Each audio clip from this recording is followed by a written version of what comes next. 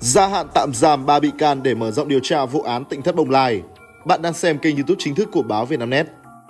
Mới đây, Cơ quan An ninh Điều tra Công an tỉnh Long An ra quyết định gia hạn tạm giam đối với 3 bị can bao gồm Lê Thành Hoàn Huyền, 32 tuổi, Lê Thành Nhất Nguyên, 31 tuổi và Lê Thành Trung Dương, 27 tuổi. Đây là lần thứ hai gia hạn tạm giam đối với 3 bị can kể từ khi Cơ quan An ninh Điều tra tiếp nhận vụ án do Công an huyện Đức Hòa chuyển giao từ đầu tháng 3 năm 2022. Trước đó vào tháng 1 năm 2022, ba bị can cùng với ông Lê Tùng Vân, 90 tuổi, cùng bị khởi tố về tội lợi dụng quyền tự do dân chủ vi phạm lợi ích của nhà nước, tổ chức, cá nhân theo quy định tại Điều 331 Bộ Luật Hình sự năm 2015, sửa đổi bổ sung năm 2017. Chỉ riêng ông Lê Tùng Vân được tại ngoại hầu trà. Như đã thông tin, Công an tỉnh Long An đã tiếp nhận đơn của nhiều cá nhân tố giác, tố cáo có nhiều dấu hiệu vi phạm pháp luật như lợi dụng tôn giáo để trục lợi, lừa đảo, loạn luân, xảy ra tại cơ sở có tên Tịnh Thất Bồng Lai, sau được đổi tên là Thiền Am bên bờ vũ trụ. Ban đầu, cơ quan cảnh sát điều tra công an tỉnh Đức Hòa khởi tố và thụ lý vụ án, nhưng sau đó được chuyển giao cho cơ quan an ninh điều tra công an tỉnh mở rộng điều tra. Các đơn vị này đã có hai lần khám xét Tịnh Thất Bồng Lai,